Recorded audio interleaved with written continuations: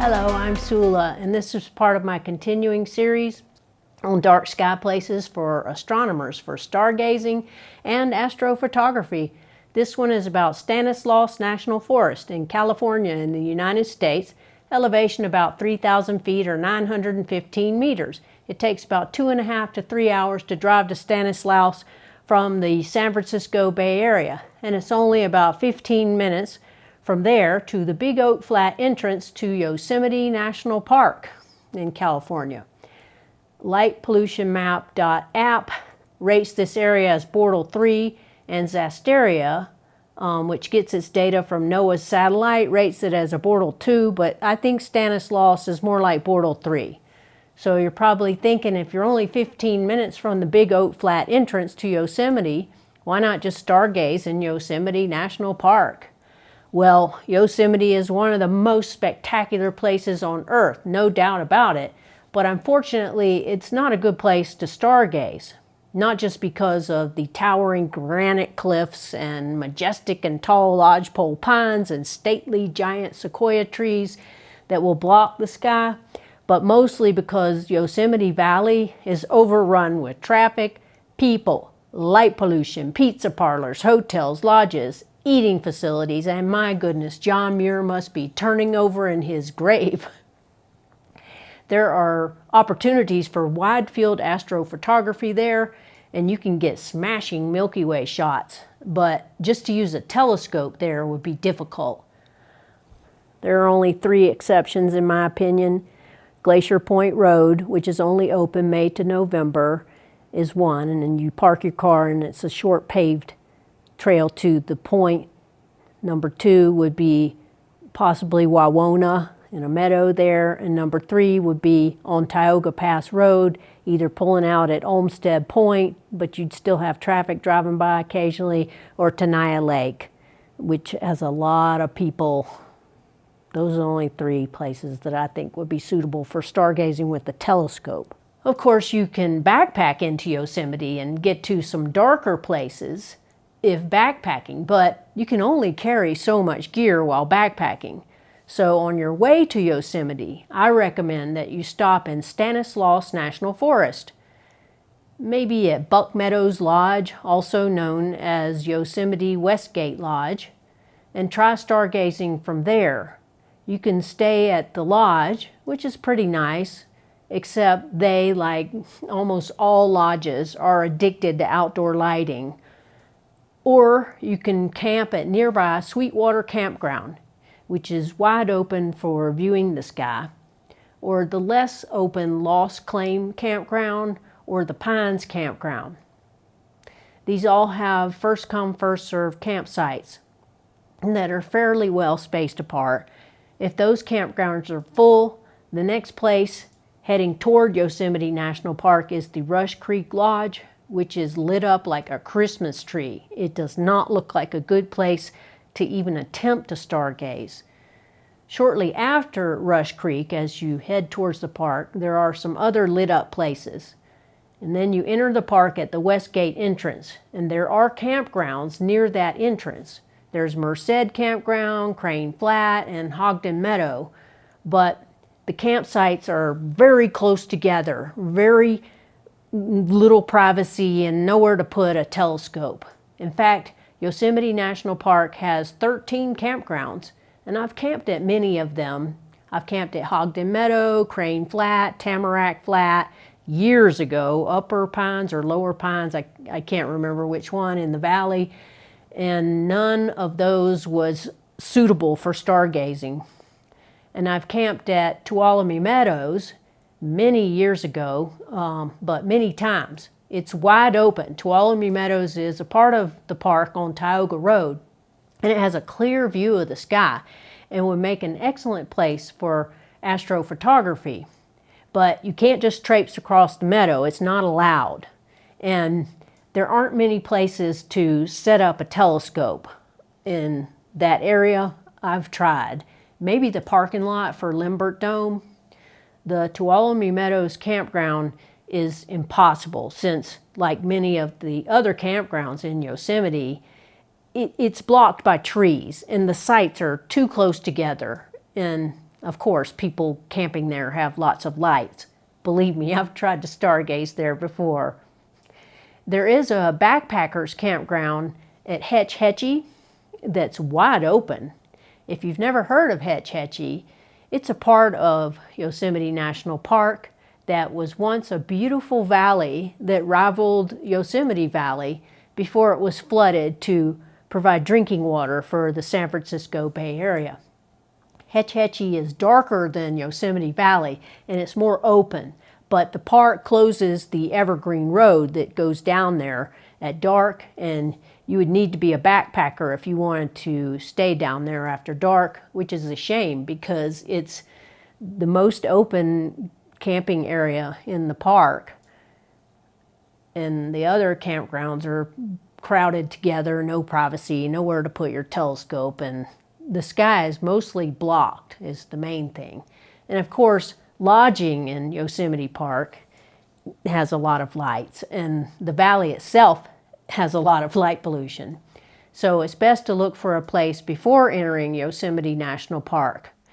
When driving toward the park, you pass Don Pedro Reservoir, and it has a campground, Moccasin Point Campground, and it's just 130 miles or so from San Francisco. And it's a Bortle 3 site, and the campground is on the reservoir, so it has a clear view of the sky. And it's very dry there for most of the year. It receives very little rain. And passing Don Pedro Reservoir, you go up the harrowing and terrifying Old Priest Grade, and you pass through the town of Big Oak Flat and the cute little town of Groveland. And there are some open areas around there, but there's also a lot of development and lights. But if you continue just past Groveland, you can stay at Buck Meadows Lodge also known as Westgate Lodge, and there's a wide open area just past the lodge uh, with an open view of the sky, and it's away from the lodge lighting. It seemed like an ideal place, so I set up my 10-inch Dobsonian there. to go by. But it was a little too close to Highway Car, 120, car and there was car. a parade of cars, all endlessly passing by, and the constant drone of highway noise.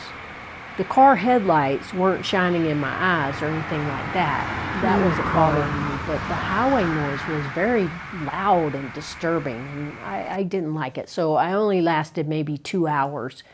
I found another open area near Buck Meadows, the, uh, past the cabins, farther away from Highway 120 that was more suitable for stargazing or astrophotography. But be aware that there are bears in this area, so don't leave any food out. Don't start snacking. Last night we heard a huge racket. Here's why this dumpster doesn't have a bear-proof lock, and a bear got into it. And the bear pooed all over the place.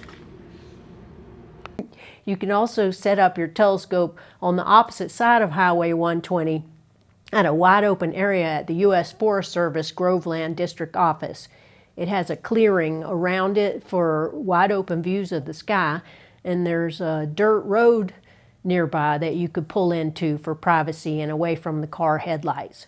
You can also try Ferretti Road or Aurora Street. I think Buck Meadows has great potential for um, stargazing, and also there's Sweetwater Campground in Stanislaus National Forest. They're both dark and they usually have clear skies during the day. Their recreational opportunities are endless.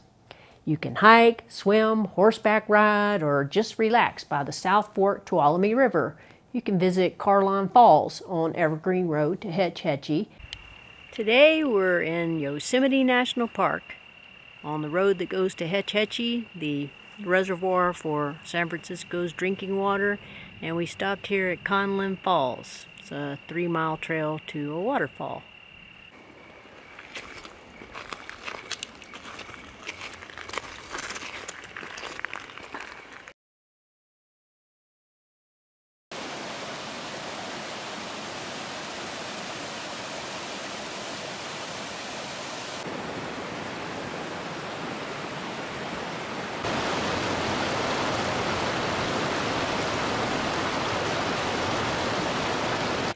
And you can also enter Yosemite National Park at the Big Oak Flat entrance, and you can turn onto Tioga Pass Road for ample hiking opportunities. Right at that junction, um, where you turn off onto Tioga Road, is a meadow behind the Crane Flat area where you can see great gray owls, or you can set up your telescope there if you get as far away from that gas station as possible. And if you keep going about another 40 minutes, there's a great hiking opportunity at Porcupine Creek to an outstanding view of the famous Half Dome without even hiking it.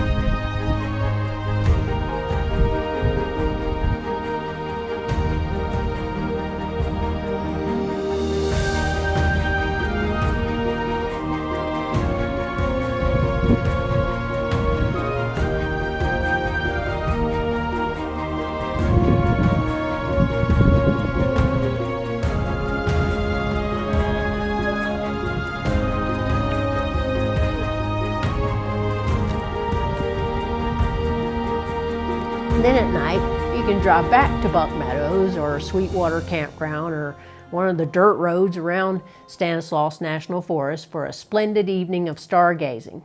So the traffic noise was a little disturbing, but I think Buck Meadows and Sweetwater Campground or just some of the dirt roads or pullouts near Sweetwater make an excellent place to stargaze or to take astrophotos.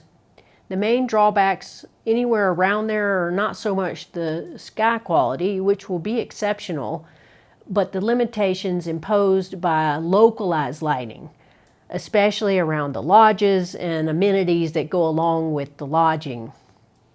As long as you can get on a dirt road away from the lodges, the skies are dark and they're usually clear, they only get around 30 inches of rain per year in that area, and most of it occurs in the winter time, with the summers being hot and dry. I hope you enjoyed it and that you found this information useful. Dark Skies Forever, Tsula, signing off.